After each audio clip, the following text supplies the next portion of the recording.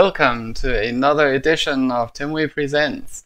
Now today we are going to look at Souvenir. Let me quickly um, let me quickly remind our audience what Souvenir is. So we're talking about a module for Keep Talking and Nobody Explodes, and this is a special module because it will ask questions about uh, the uh, about some of the other modules on your bomb after you've solved them. For example, if you solve a 3D maze, it might ask you what were your floor markings, what was your cardinal direction. As you can imagine, this module requires special support for every module that it wants to ask questions about. As a result, we need to se separately add this support for every module. And here on the website, the repository of manual pages, we have a handy little filter which we can use to filter out the ones that are not a candidate or already supported. And we get a list of modules that you know might be considered or already planned. When was the last time you blew up? Correct answer is not yet. All right. So um, I am tempted to start at the bottom. However, before I start implementing new modules, I'm going to uh, show you a quick summary of the code that already exists. So here we are in Visual Studio. This is the source file for the souvenir module. If you open this up in Visual Studio, you can scroll through it. And one of the things that you will notice is there is this long list here of strings for each of the modules that are supported. These values are the module type property.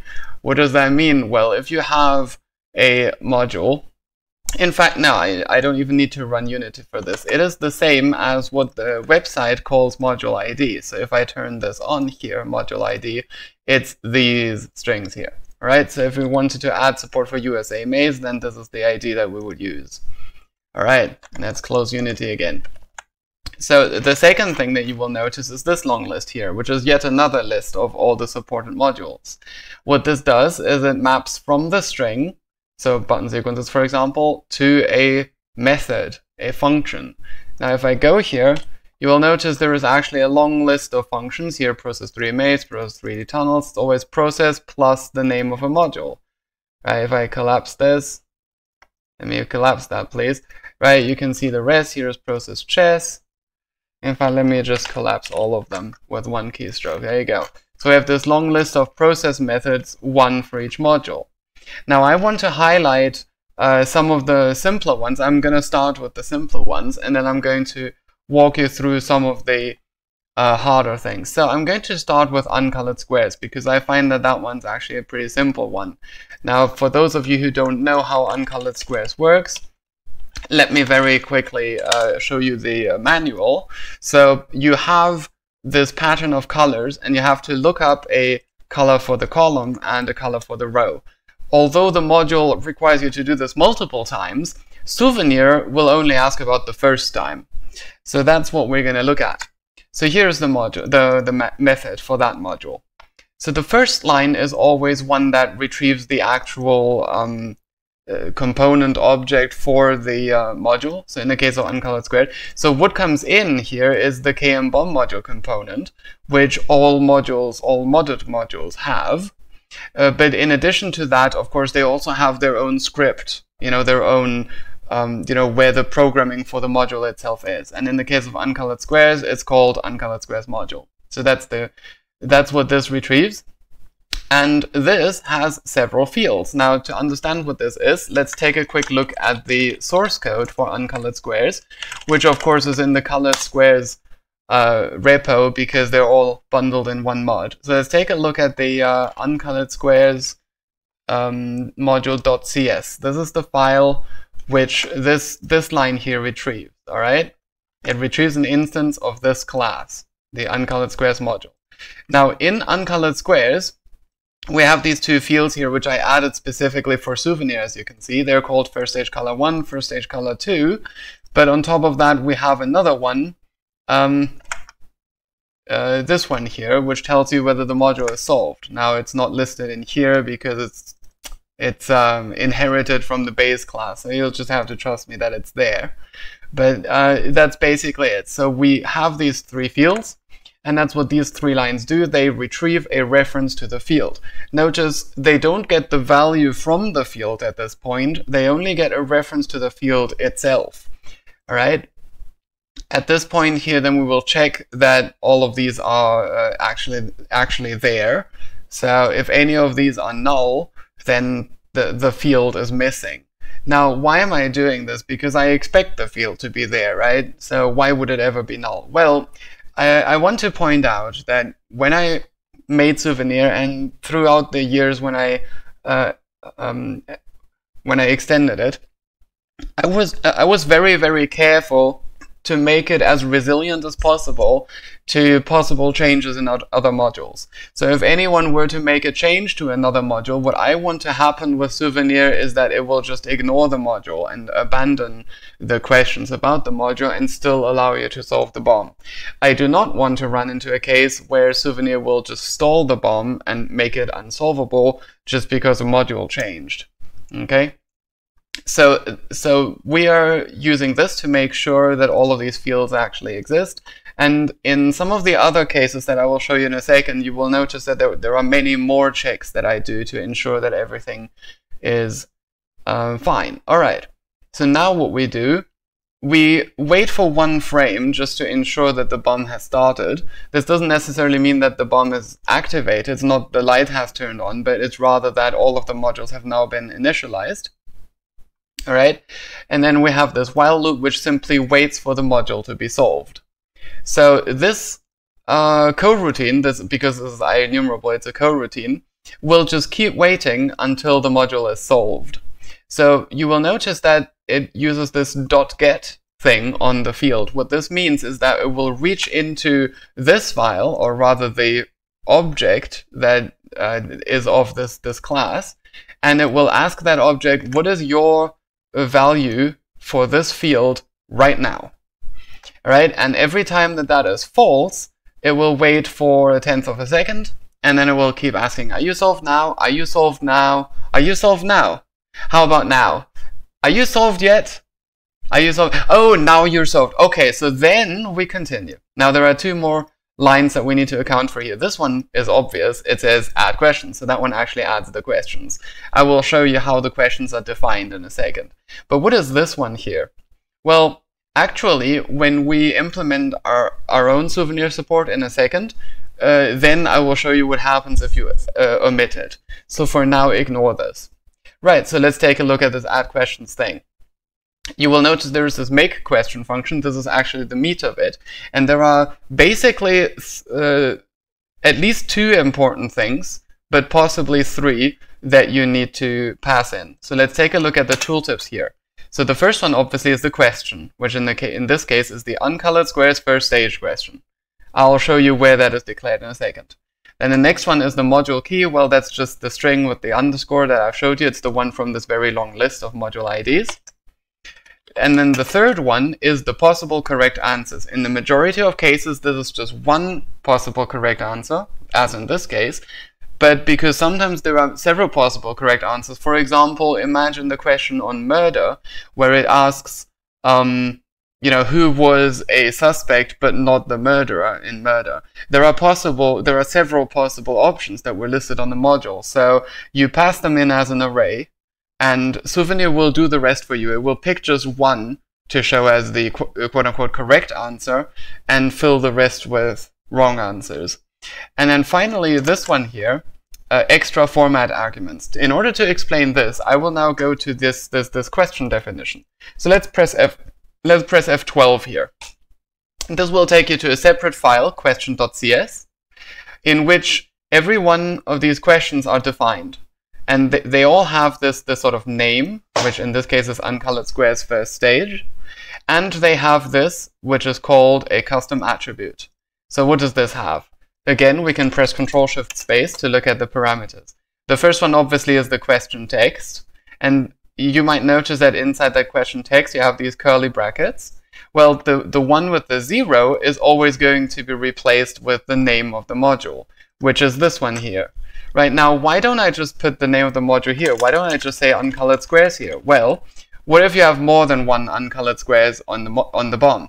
In that case, the zero doesn't just say uncolored squares. It will say, for example, the uncolored squares that you solved first and the uncolored squares that you solved second. So Souvenir takes care of that for you. Just need to make sure that you put the zero here in curly brackets and the name of the module separately.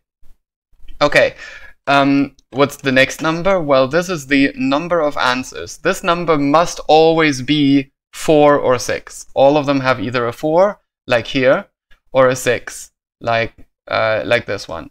So what's the difference? Well, it's the number of possible correct or wrong answers that it shows. And um, the idea here is that if your if you if your answers are short things, such as for example just digits or just you know single words like blue, green, whatever, then you can display six of them. But if you have something like, for example, here, annoyed Sonic, Ballhog, blue lamper, some of these are relatively long words. So if you wanted to squeeze six of them into the souvenir module, they will look very much uh, squeezed to the point of potentially being unreadable, especially on Twitch plays.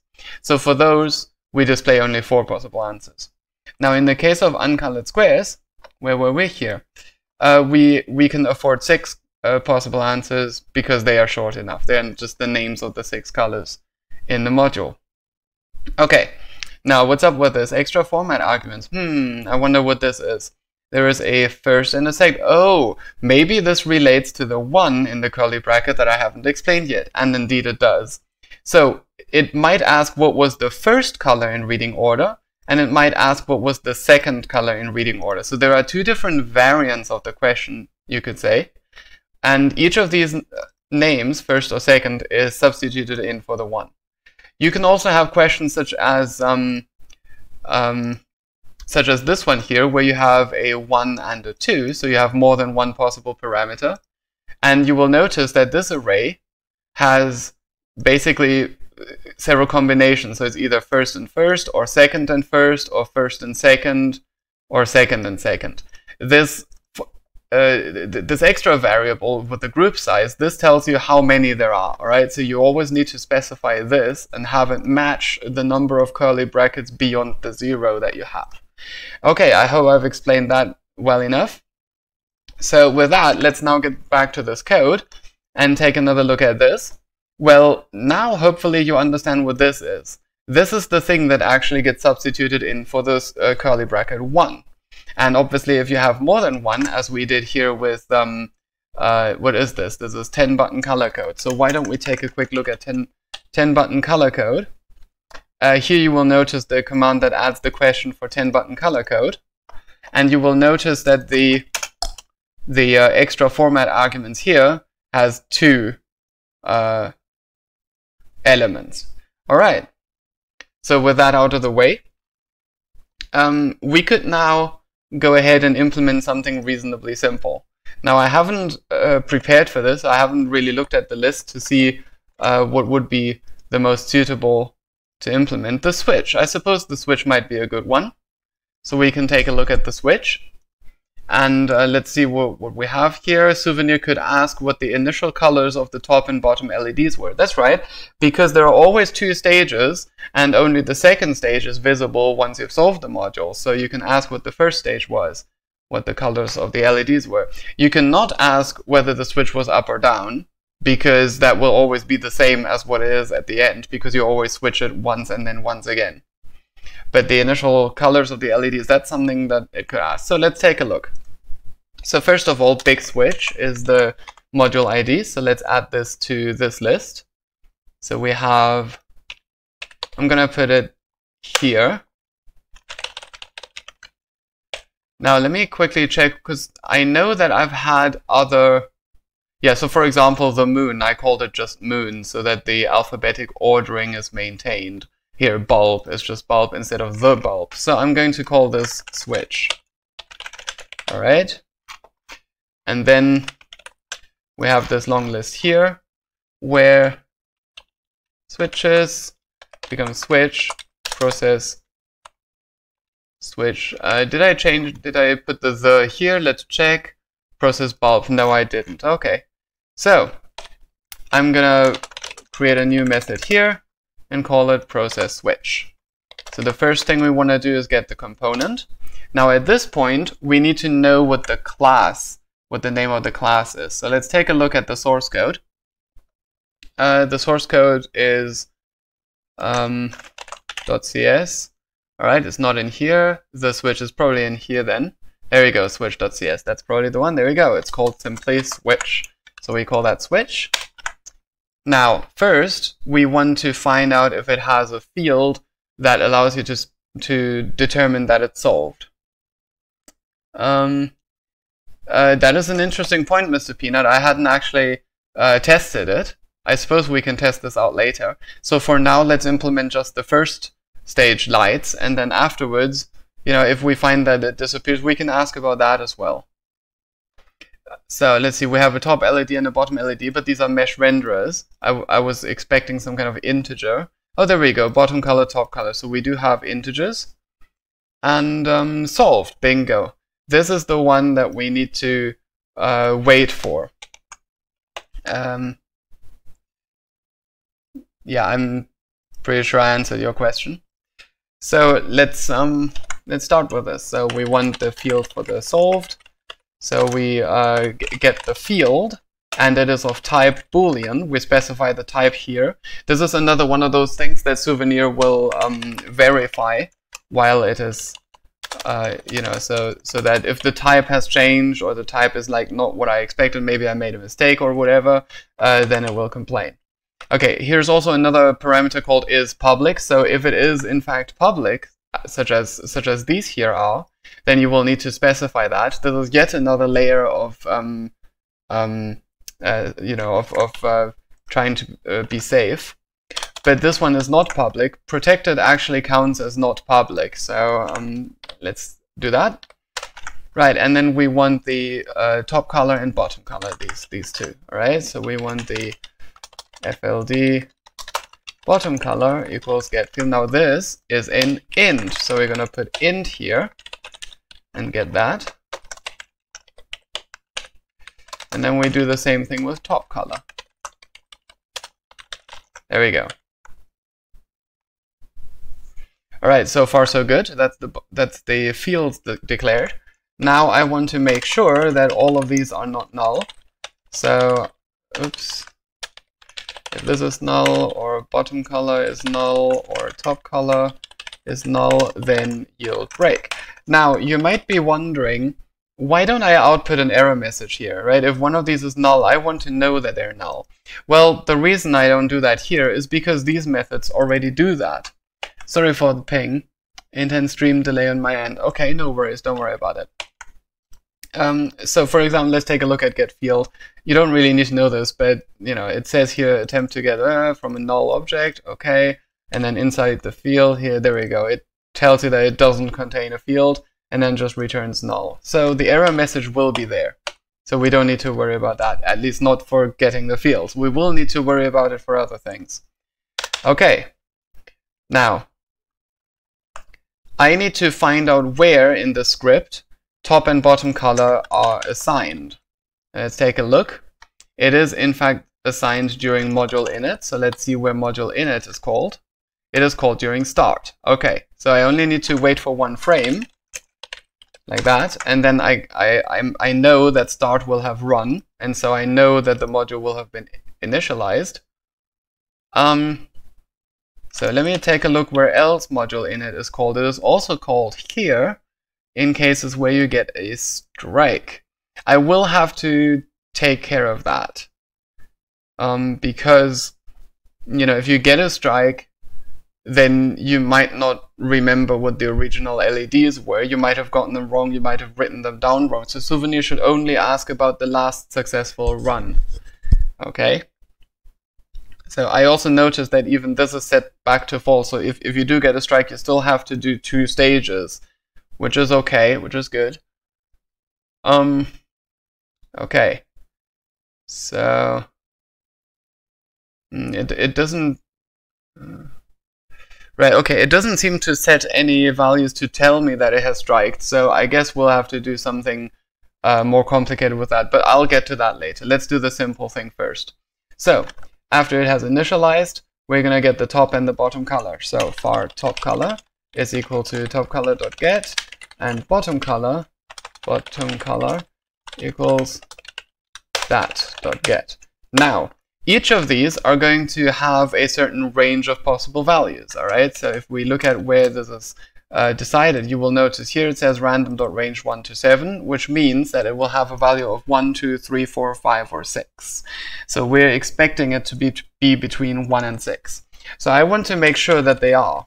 If top color is less than 1 or greater than 6, greater than 6, or bottom color is less than 1 or greater than 6, then, now this time, I want to output an error message. And I'm going to output an error message similar to this one. I usually just copy and paste them from somewhere else, abandoning the switch because uh, top color or bottom color has an unexpected value.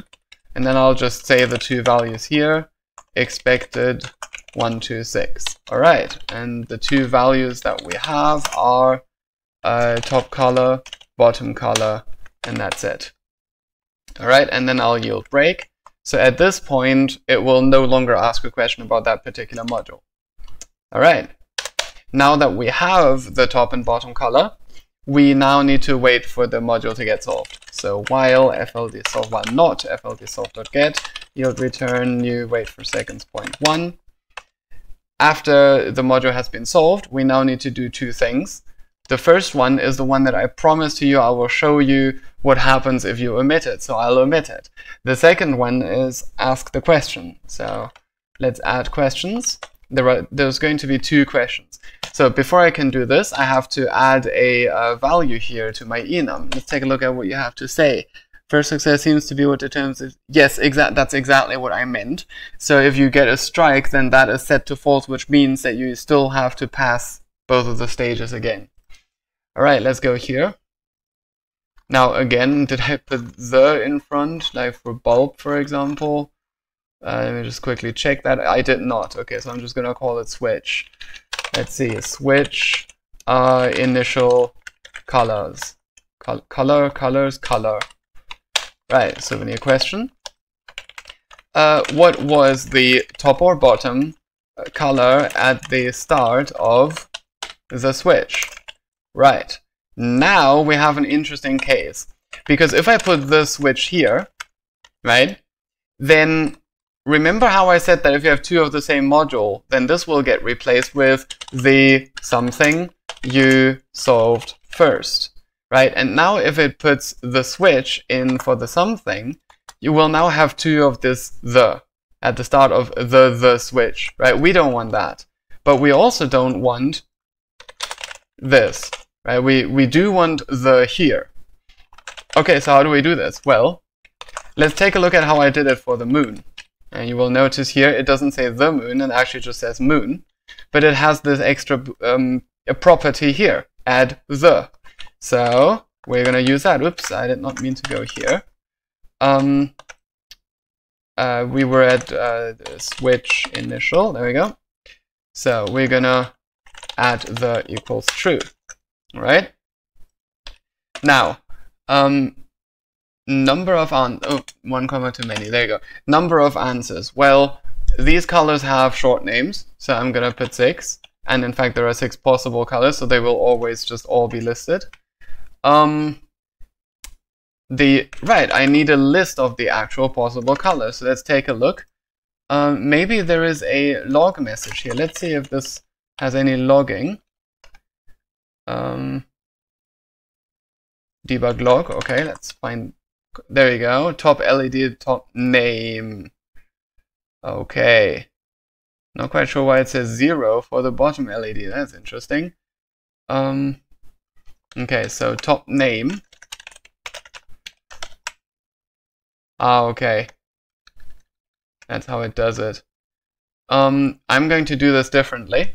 I'm going to simply okay. So first of all, let's let's take a copy of uh, the actual names that there are: yellow, green, blue, and purple.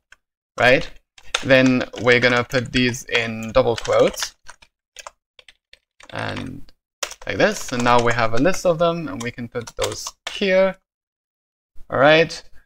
Uh, what else? Oh yes, we also need the um, example format arguments because ooh, I thought I had that selected. Format arguments. Right, so we only have a 1 and not a 2, so we only need 1. But we have two possible options, either top or bottom. So the group size is equal to 1. There we go. Okay, so that's that's this part done, right? But I'm still going to copy this array because I'm also going to put it somewhere in here. Uh, process switch, because I just lost my place. All right, so here we are going to have a uh, list of color names, and we're going to make that an array. There we go. And now we can add questions. So first, let's make the first question, which is switch initial color, uh, switch, possible correct answers. All right, so the top switch is color names of top color. However, you may re recall that top color actually starts at 1, but arrays you know, always start at 0. So I'm just going to subtract 1 here to compensate for that extra format arguments? Well, that would be top, right? Because we're asking about the top LED. Preferred wrong answers, in this case, we don't need any. Usually I put something there to like, you know, mislead the user. So for example, if you had multiple stages, I will give the correct answer for the other stages in here. But we don't need that right now because it's just going to show all six of the colors anyway. So it makes no difference. So we can just omit that.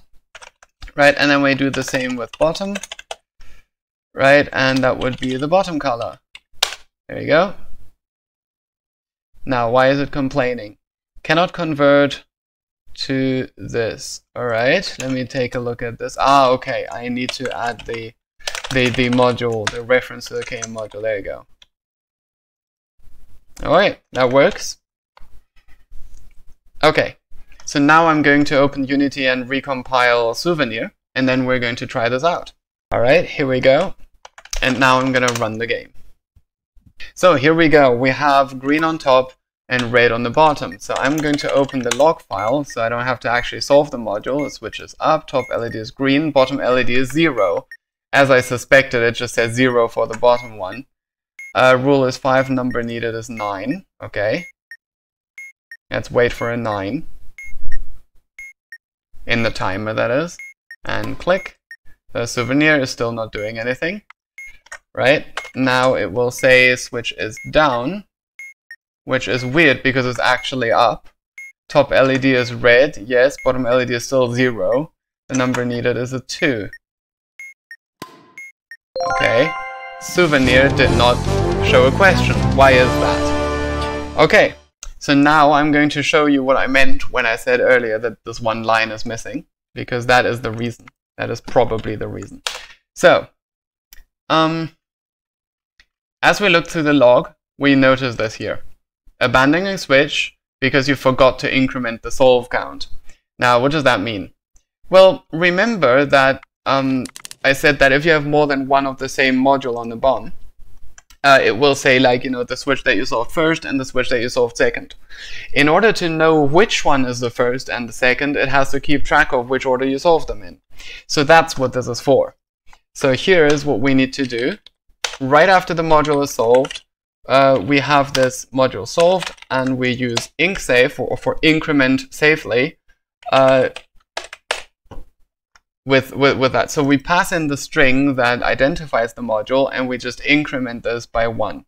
So this string will be the same for separate modules, right? So it will count how many of the same module, same type of module, have been solved. All right, so now let's try that again. Alright, blowing up means never having to say you're sorry. Okay, so the initial state is yellow and red. As we can see here, the number we need is 3, which is here. And then we need a 4. I'm not sure if the last digit needs to be a 4 or any digit, but there we go. What was the bottom color at the start? Well, the top was yellow. I didn't write it down and the log doesn't tell me what it was. Do any of you remember what it was? Um, Added a failsafe to prevent the module from displaying the switch. You solved zeros. Exactly. In the past, it used to say the switch that you solved zeros. And, and that was like really bad. Okay, so what was the bottom color? I think it was green. I'm just gonna press green. And it's not, it was red. And mod bomb is solved. Now here in the log, we can see that it actually generated both of these questions, right? The top color and the bottom color. So the top color was yellow, the bottom color, as we just found out, is actually was actually red. And it decided to ask this question.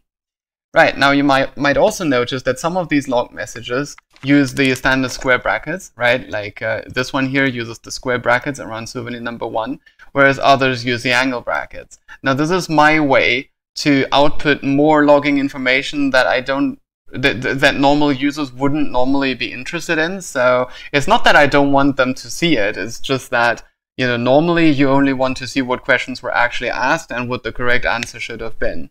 Uh, and also some other questions, some other messages, such as, for example, there was no question for Yahtzee because you rolled a Yahtzee, right? Things like that.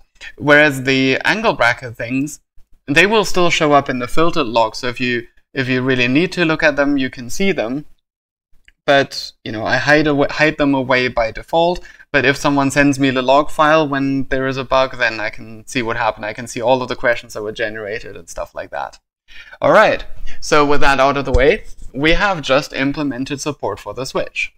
But now we have a problem because it will always ask about the first color rather than the first color in the last successful attempt we actually want to ask about the last successful attempt because if you get a strike, the module gets reset and it should only ask about the last, uh, you know, the, the, the one run where you succeeded.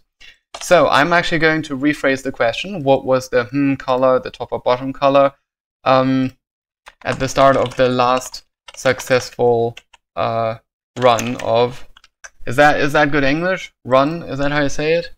At, what was the top color at the at the start of the last successful run.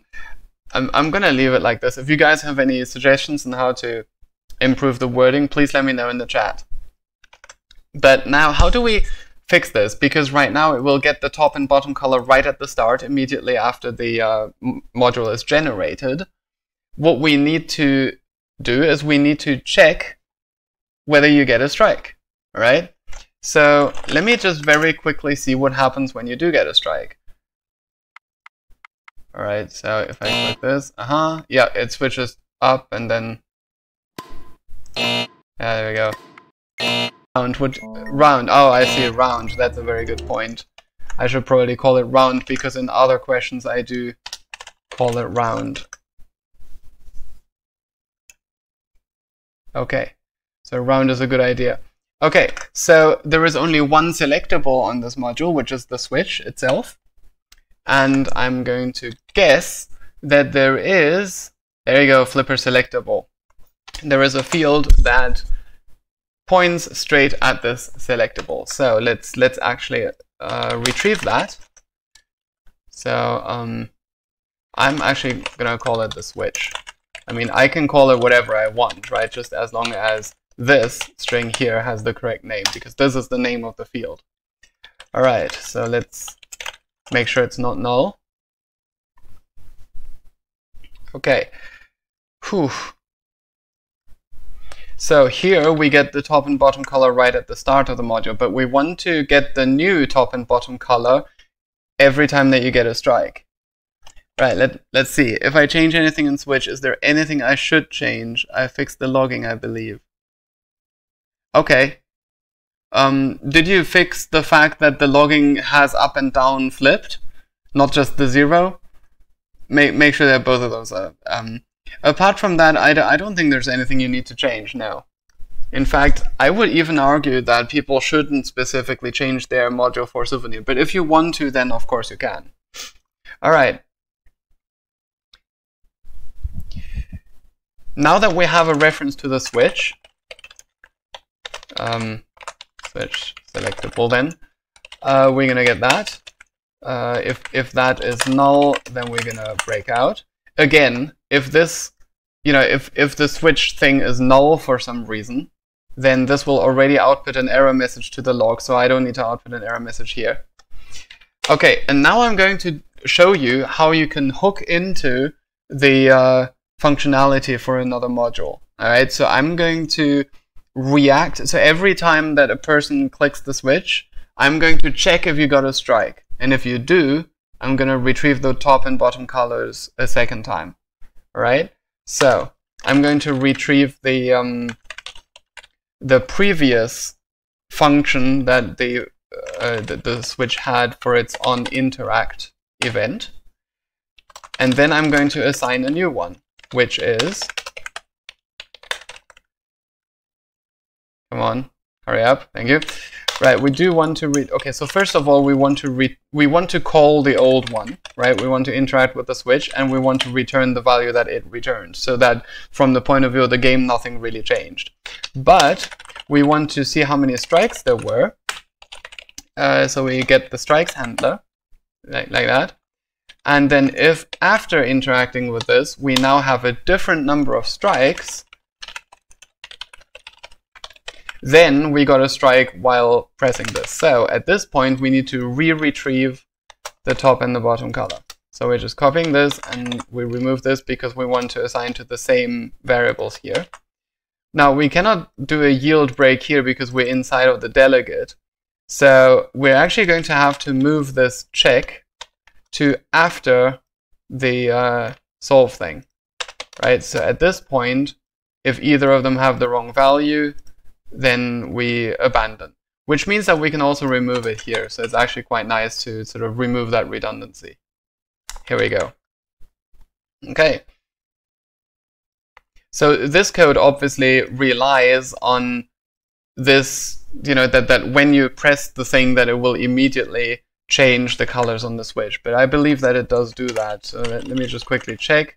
If you do a handle strike here, then it will immediately call module init. So it will immediately have new colors, right? Which is good. In some other modules, there may be a delay here. They might give the strike first and then start a coroutine and then initialize some values later. In those cases, you might have to get more creative.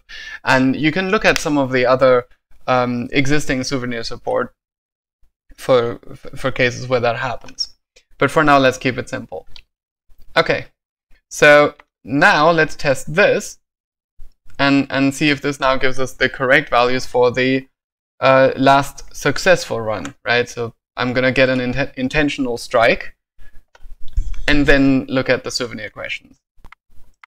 All right, now this time I'm going to actually write it down. We had magenta and green, right? And then I'm going to do the first switch. Ooh, the type switch does not contain non-pub. Nah, ha ha ha. All right, let's abandon the game. So what happened here is that flipper selectable, I actually mentioned this earlier, flipper selectable is in fact public. Now as a uh, means of you know safety to make sure that I know what I'm doing, I have to specify that it is public, otherwise it will refuse to get it. All right, thank you, Souvenir, for catching my mistake. Okay, so what just happened in the game is that I found that uh, Souvenir still asks me about the uh, first uh, round of the switch. You will see here that the question expected orange as the right answer, but orange was the correct answer at the start, but not after the strike. So there is a bug. So I added these two log messages, one for the user pressed the switch and one for the user got a strike. Now, while while we were uh, you know having those technical difficulties, I actually realized what the error is. Uh, the the problem is that I am checking the number of strikes on the bomb, but the number of strikes on the bomb doesn't actually change in time mode, and I was actually in time mode. You may remember that. So uh, it, it, the number of strikes doesn't matter, which means that it doesn't change. So th that means that I need to find something else. Okay, so how do we get around this? So we cannot actually check the number of strikes. Uh, I hadn't considered that because time mode means that the number of strikes doesn't actually change. So we need to find some other way that uh, the uh, that the module might might tell. Oh, um, yeah, we can actually check. All right, this is what we'll do.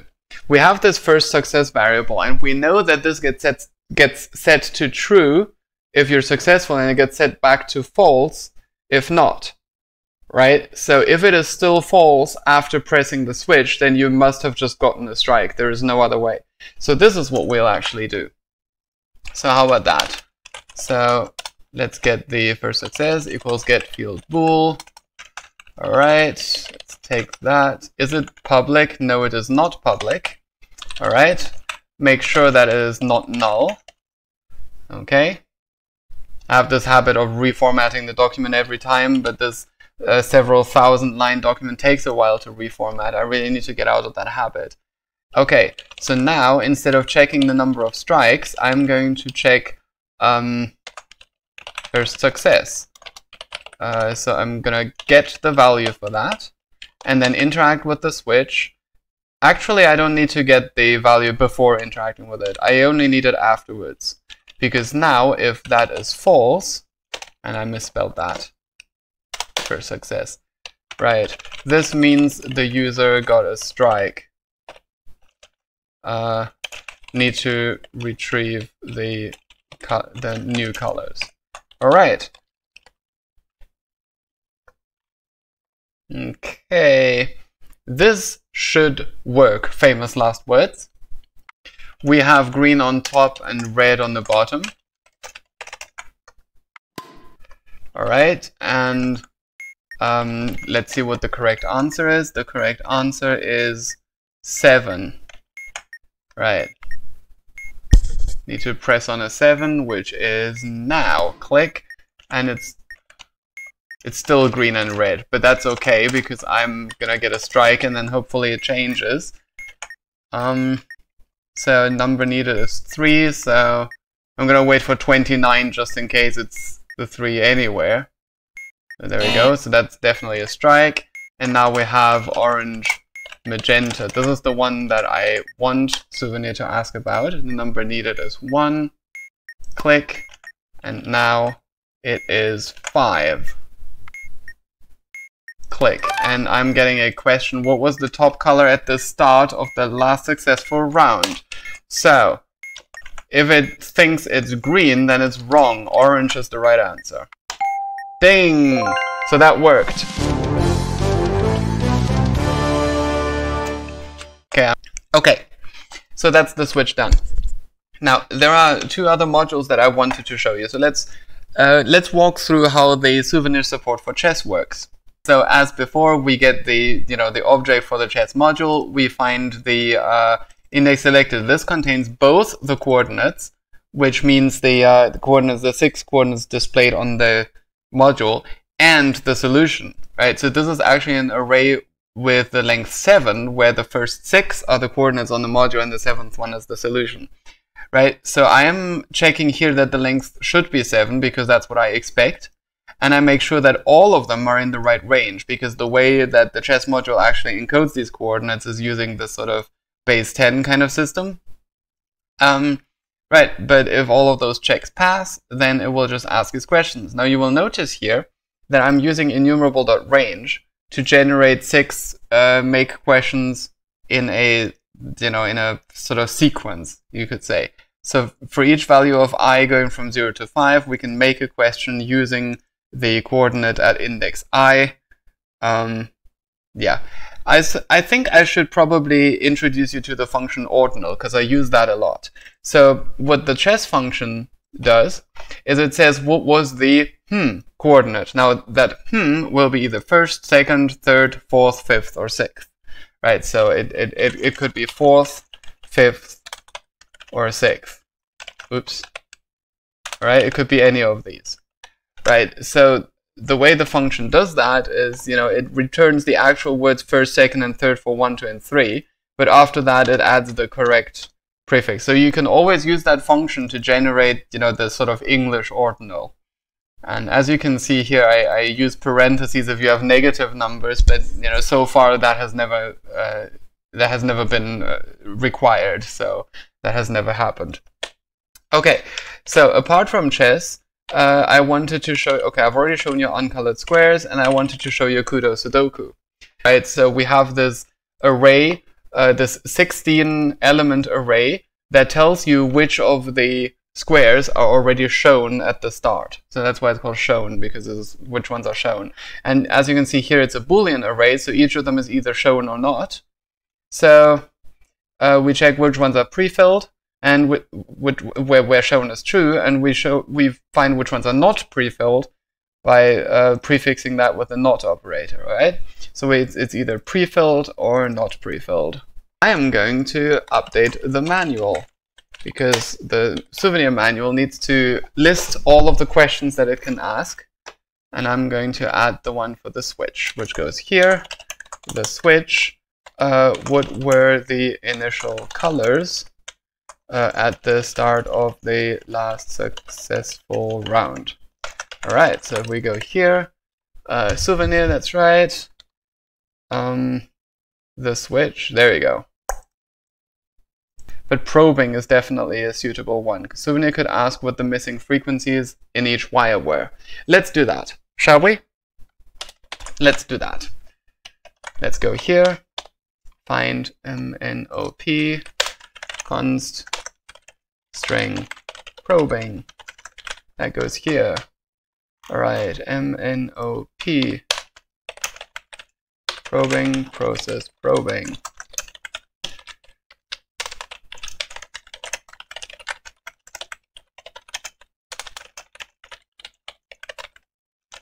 Here we go. Uh, you're not asking for the second stage. Ah, I totally forgot about that. Thank you, Riverboy. That is a very good point. I should ask about the second stage as well. Process switch. I will do that straight away. So um, we're gonna have a top color 1, bottom color 1, and a top color 2, bottom color 2.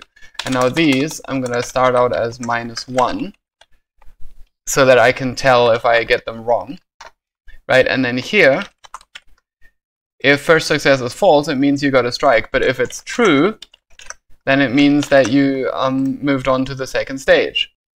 So we can just set this. There we go. Now, if top color 1 or top color 1 or bottom color 1 or bottom color 1 or Ah, shit. In the selection, change this to that. Thank you. Right, abandoning the switch because top color, top color 1, bottom color 1, top color 2, bottom color 2 has an unexpected value. 3, 4. Top color 1, bottom color 1, top color 2, bottom color 2. Here we go. All right.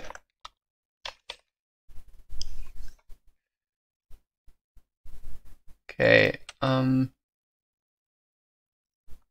so it could be at the start or at the end, right? At the start or at the end. Right, there we go. Um, okay. So now we have four questions in total. So let's take a copy of this, remove this, remove that. So um, this is start and then end. One, one, two, two. And reformat. Yay! There you go. Alright, so I guess we do want to test that now. But I've already started the probing thing. So I'm actually going to write the probing code too now, and then I will just uh, test both of them in a second. Especially since the game apparently makes the stream lag. So um, let's just do the probing first. Now, probing is interesting because um, let, us uh, let's, let's actually just take a look. Um, we don't actually have the source code for probing. This is a Perky module. But that shouldn't stop us because um, we can find the DLL, which is this one here, and open it in a decompiler, such as this one here, called dnSpy. As you can see, I looked at synonyms in the past. So here's probing. Hmm, come on, probing, there you go. Uh, we have a probing module here.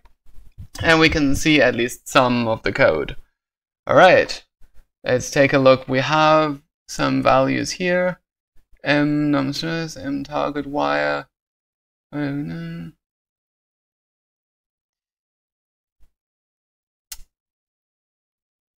Okay, I'm not quite sure which one of these contains the uh, wire frequencies.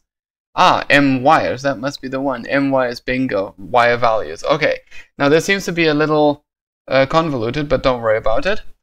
So we definitely want to retrieve, okay, so first of all, let's uh, retrieve the, uh, uh, what is it called, probing module? Yes, it's called probing module.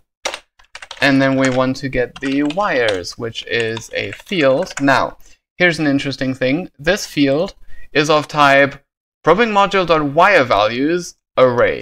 Okay, we do not have access to the wire values type, especially since it's going to be a private type. See, it's actually private inside of this. All right. So, um, however, it's an enum. I, did, I didn't even realize that. I thought it was going to be a class. So that's that's okay. So what we can actually do is we can say object because in C Sharp, everything can be converted to object. So you can always use object, right? But in this case, um, it's the, the field is not actually just, just one wire, wire values, it's a, an array of wire values. So we can actually use this class array, which all arrays are convertible to, right? So even if it's like an int array or a string array, you could you could put array and it will work, right? And the name for this is mwires. Okay. And then if conv equals null or if ld wires equals null, uh, yield break. All right. Now, is this all we need? Because I know that the wire values may change if you get a strike somewhere else on the bomb. So here in the update thing, if the number of strikes changes, then with a probability of 20%, it will generate new wire values. So we do need to make sure that we get the right values at the time when the module was solved. Um, all right, let, let's check out what this does. So m wires becomes a new array of six values. Ah, that that is very useful that it actually assigns a new array because then we can change we can check that the array itself changed rather than the values in the array. Okay, and then it just sets uh, possible wires. Um, interesting. The first, oh, I see. It sets the first four to a specific value and the remaining two to a random one and then shuffles them up. That way it guarantees that all four values occur. All right. So if this wire, okay, this just implements the rule. So that just tells you what the solution is going to be, target wire A and B. Okay, so now we know what to look out for. We have an array of four elements uh, of, of six elements. It's an array of six elements, right? Update display presumably um, all right. Um, let's take another look at this because I think I just noticed something about this. You will notice that the values here are 0, 1, 2, 4, and 8. This is no coincidence, right? This is a so-called flags enum. So these numbers are uh, powers of 2, you know, it's 2 times 2 times 2 times 2. And these can be used with bitwise operations such as OR uh, to have several values in one. So a wire can actually have like, for example, A and C together. And I'm fairly certain that's what it does. So if we go back to um, uh, set set select wire, no, um, what was it? Get wires, generate generate wire values. Um, possible wires. Ah, bingo. Okay, so these are the possible wires, right? You can either have A, B, and C, or A, B, and D, or A, C, and D, or B, C, and D. And you will notice that this uses bitwise OR, right, to combine these wire values. So, we don't actually want to, uh, you know, it's, it's, so the values are not going to be 1, 2, 1, 2, 4, or 8. It's going to be a combination of three of those, right? Is it a problem that the display will still show the frequency of the solution wires? Um, that's a very good question, but it's uh, not a big deal because we can just blank out the display. But thanks for pointing it out. I probably would have missed that, but I would have noticed that in testing. But since you mentioned it, I'm just going to do that straight away. So we are going to need the uh, display, display, which is a uh, text mesh, right, with that name, and it is public, right? And then uh, after solve, fld display dot text dot um, oh, get dot text equals empty. Well, I need to get the this the thing first. Make sure that it's not null. Oops, if display equals null, yield break, and then display dot text equals that. All right, blank out the display so that the user cannot see the readout for the um, solution wires. All right. Now let me see if the module actually lets you uh, reclip the wires uh, after solve. Also need the interactables to start interacting with the module. Bingo, so you know that it does let you interact with it. Okay. No, these are not the actual wires. The wires are... Oh, there we go, selectables. That's the one. All right, let's get that. So var fld selectables equals get field KMSelectable array uh, conf and the name is selectables and it is public. So let's do that. Or I forgot to check that. Or fld selectables equals null. Thank you. There you go. Okay uh, prevent the user from interacting with the wires after solving. Um, so for each of the, all right, no, var selectables. So we need to get this first, and then if selectables equals null or selectables length is not equal to 6, then I want to abandon this. Let's just get a, a message here abandoning uh, probing because uh, selectables is null or has unexpected length expected 6 and then I will output what it is so module ID first right? And then um, if selectables equals null, then I'm going to say null. Else, I'm going to put a square bracket and in there put the selectables. Uh, so for each select, oh, I see. Any of the selectables could also be null. Um, so uh, or selectables dot any s equals null. There you go. So if the selectable is null, then null, else uh, selectable. Join string, comma.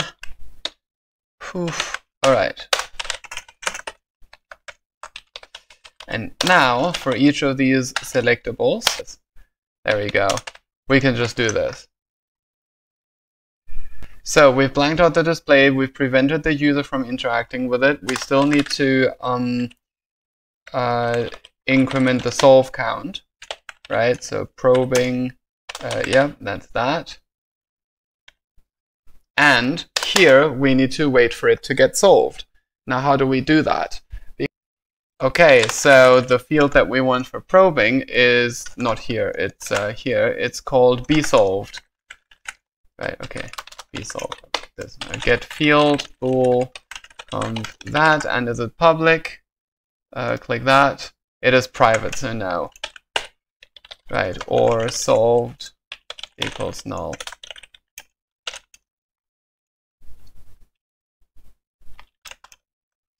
And then while not fld solve.get, yield return new wait for seconds, point one. Okay. And then of course, once again, module solved, inks. I almost forgot that. There we go, increment that. Oh, there's the IncSafe. All right, so here, then we need to add the questions. Whew, okay, so do we have any probing questions already? No, we don't, so let's add them. MNOP, here we go, probing frequencies. Souvenir question. Um, what was the missing frequency in the hmm, wire in hmm, question mark probing. Um, all right, now here's the thing. In our community, we have the um, we, we have this convention that we call these wires one, two, three, four, five, six in reading order. However, the, neither the module nor the manual refer to them in that way. And in fact, I don't even know if they are sort if they're ordered the same way in the code. Maybe they are. We'll find out.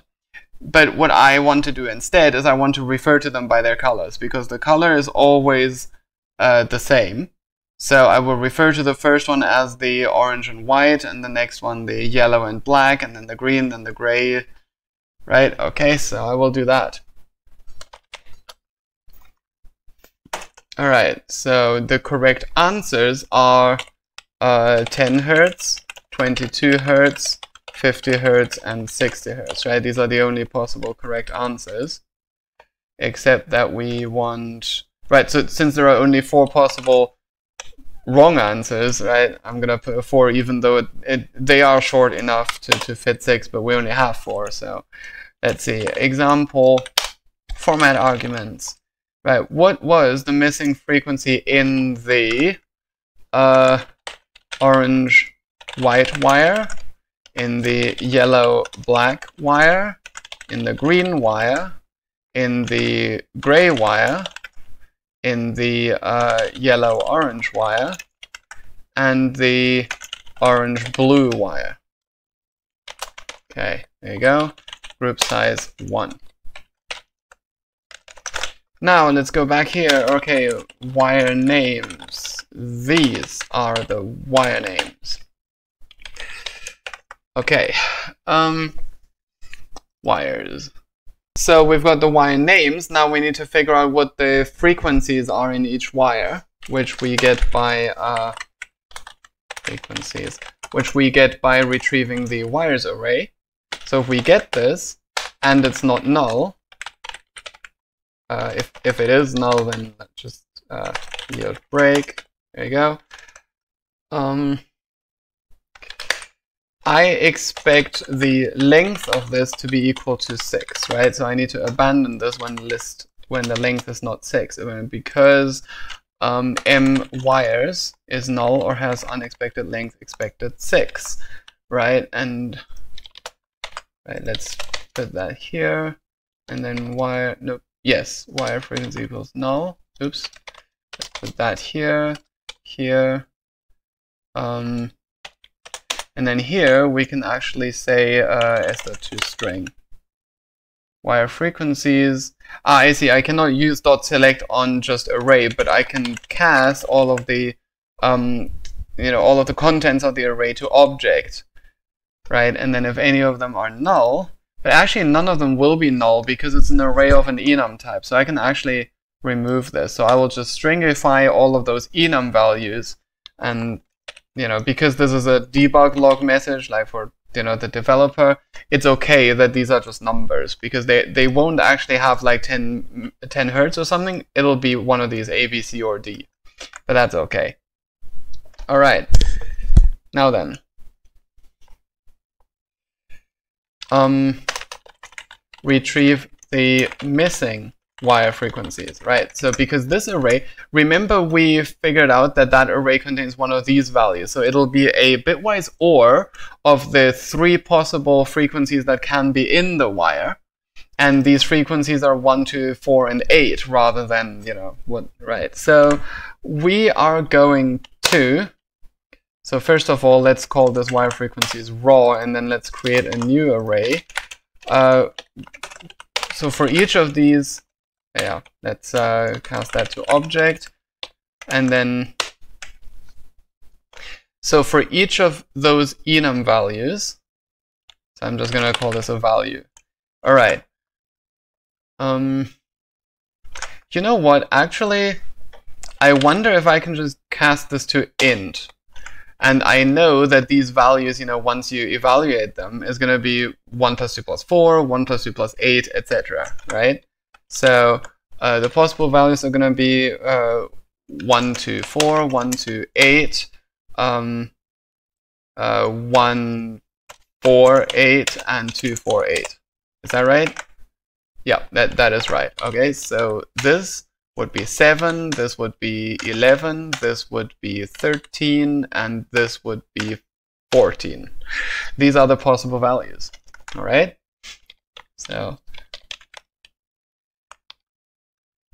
that means that if if the value is 7, then we know that the missing frequency is the one represented by 8, which I'm going to assume is 60 hertz. Right? If the value is 11, then the missing value is 50 hertz. If it's uh, 13, then it's um, uh, 22 hertz. And if it's 14, then it's 10 hertz. And in any other case, we will have made a mistake. So I'm going to return null, turn that into an array, and then say if wire frequencies.length is not... Um, actually, we've already checked the length of the earlier array. So all I need to do is check if any of these is null.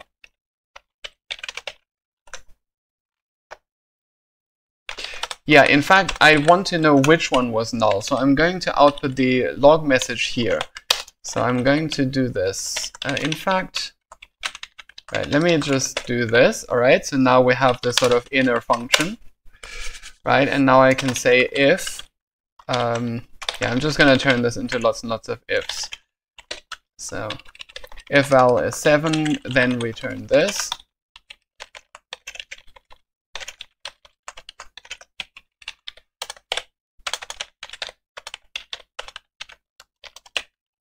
There you go.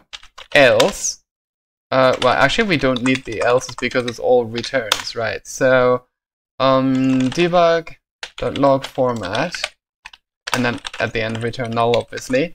So, uh, we want to output a souvenir thingy, abandoning probing, because I think at this point I want the index, because um, wire number right, module ID index, y number index, has unexpected value um, val, and I expected 7, 11, 13, 14. Dot. Poof, okay, so now we have that array of wire frequencies, and now we can finally add the actual questions. Uh, where we go, oops, wire frequencies dot select. So we have wire frequencies and index. Um, and we're gonna make a question on probing, probing frequencies, module key, possible correct answers. So the correct answer is, all right, so these are the wire names. I also need the freq oh, the frequency name is of course WF. Yep, that's right. Uh, extra format arguments. Uh, so we only need the name of the wire. Yep, the name of the wire, of course. We have wire names up here, wire names, and the index is this one here, IX, so we put IX. Um, do we need any preferred wrong answers? No, because there's only four possible answers anyway. That should do it. Microcontroller. Right, uh, Souvenir could ask about the order in which the LEDs lit up. Um, yes we could do that. Yeah, okay, let's let's take a look at the source for microcontroller and see how it works. Um, let's see, it's somewhere in here. Micro.cs, that's probably the one. There we go. Okay, so when you press a button on interact, like, yeah, when you press the OK button, that's when it chooses a new LED. So let's see what happens when you do this. We press OK, exciting times. Is the module already solved? Aha, so at least it has a sort of solved thing which we can hook in, which we can, you know, just, just wait for. Audiovisual feedback on button press. Um, right, we play a sound. Is the solution correct?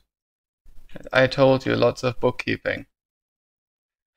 wow, Color map solution raw position translate LED order. Wow, that is a four-way nested. You know, I had a three-way nested one in Kudosudoku, but wow, this is right. Are we done with the module? If the current LED in it, LED order. Right. Okay. So yes, then we're done, and it's at solve to one. That is very useful. So next LED. So current LED index. So LED order. Ah, this is really helpful. LED order tells us the order in which the LEDs were uh, lit up. So that's really good. Plain LED materials. Ah, okay. So this just sets the new LED, the one that's supposed to lit up, to white or whatever it is. And if you get it wrong, you get a strike. That's it then MIA there, constant string microcontroller. Alright, so we want the ID, which is this, very uh, obvious. Um, MN micro. So this is where that goes, and then we have process microcontroller. Right, so let's go here private IEnumerable object process microcontroller came bomb bomb module. There we go. And the name is just micro, apparently. And we want solved, which is a integer. It should really be a boolean, but you know, it's not a big deal that it's an integer. Um, there you go, it's called solved. Right, and then while not FLD solved, uh, get yield return. Uh, uh, oh wait for seconds. Point one, this is what I want. If comp equals null or FLD solved equals null, yield break. Um, the module solved thing, increment that, microcontroller, right, and then here ask questions. All right, so this is not a boolean, so we cannot use this exclamation point thing. We just ask it if it's zero. That's what we're gonna do. Yes, thank you. Okay, so once it is solved, we can literally just take the, uh, uh, whoops, that's the wrong one, I was looking at this. We can literally just take the LED, what was it called? It was called LED order. There you go. It's a list of int LED order or order in which the LEDs activate. All right, let's get the order in. Um, LED is order equals get field list of int that and it's public. No, it's not public. All right, so if that is null, we abandon that. Okay, var LED is order equals order equals that. If LED is order dot uh, equals null, then um, abandon that. Abandoning microcontroller because LED order is null. Alright, now I also expect LED order to be of the length uh, 6, 8, or 10, right? Depending on, right, let's see, let's see where this is used. Let's see, randomize LED order. Aha, 6, 8, or 10, alright, alright? So, or LED's order dot count not equal to 6 and not equal to 8 and not equal to 10 um, close parenthesis, right? A variable with a is null or unexpected length. Expected 6, 8, or 10.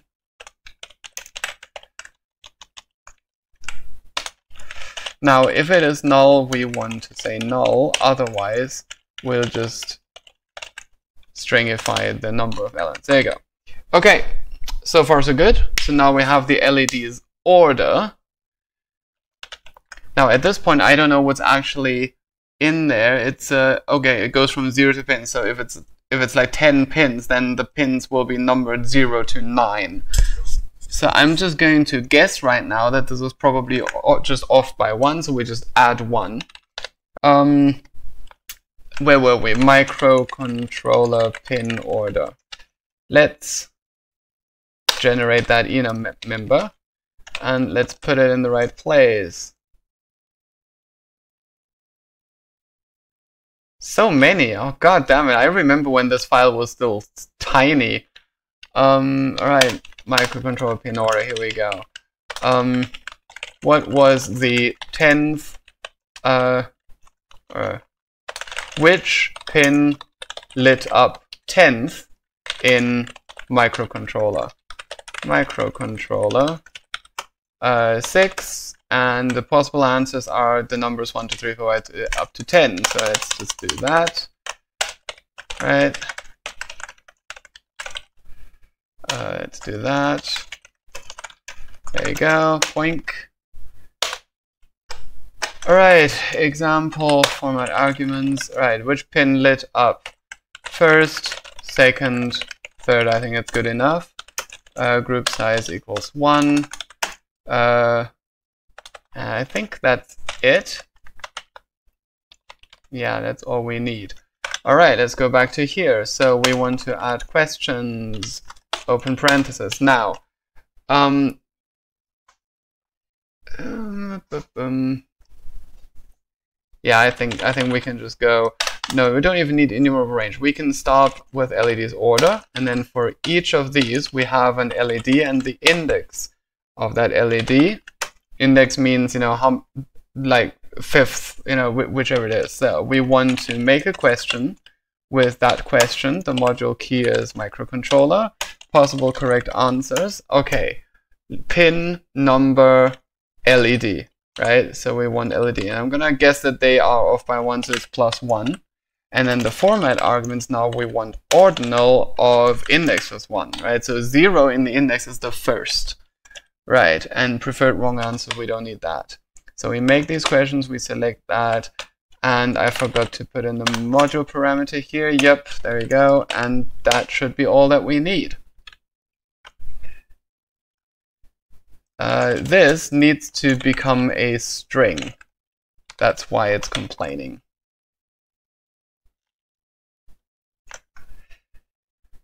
Okay. I'm really surprised that we need this few, like literally only the, so that, that, that is fairly rare, to be honest. So that, that was actually remarkably easy. So we have a microcontroller, a probing, and a switch to test. Fun, fun click. Okay, let's do the probing first because that one has logging thanks to tweak tweaks. The red clip should be connected uh, to a wire. Can ah okay, so 10 uh, 60, so top right and bottom middle. So that should be the right answer. Now let's take a look at microcontroller. Um, there is no logging for microcontroller, so we're going to have to solve that. So let me do the switch first. Um, for the switch, we had uh, purple, purple at the start. Abandoning probing because mwise is null or has unexpected length. Whoa!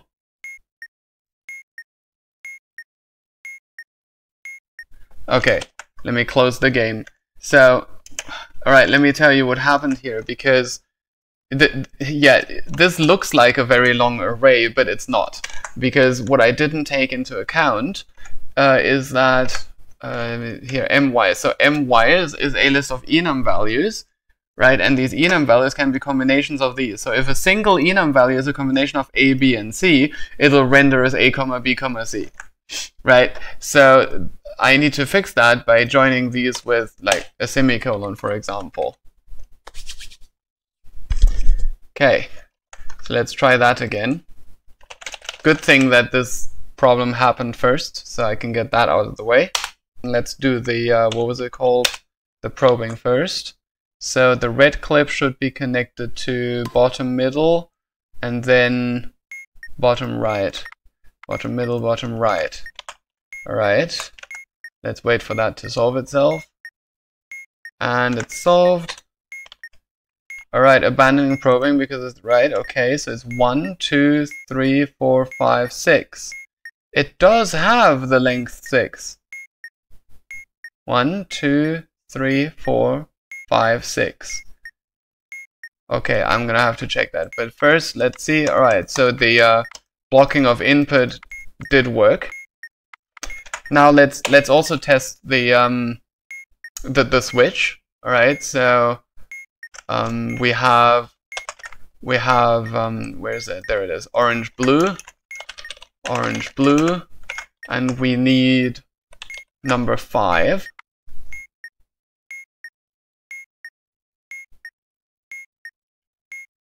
There we go. And then we have red, orange. And we want number four.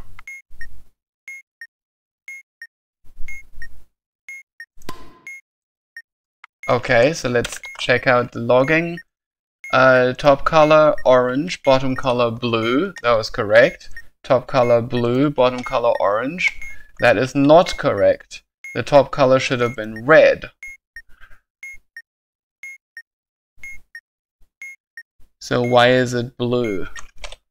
Okay, so we'll have to investigate that. Alright, so two problems that we found. The first one was the uh, M wires thing. So let's see. Um, M wires is FLD wires, and we get that. And if it is null, oh, Right, I just wrote the wrong condition. Alright, so we'll have to test that again.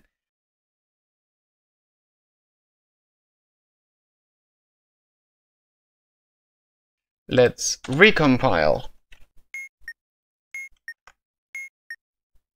Click. Pass.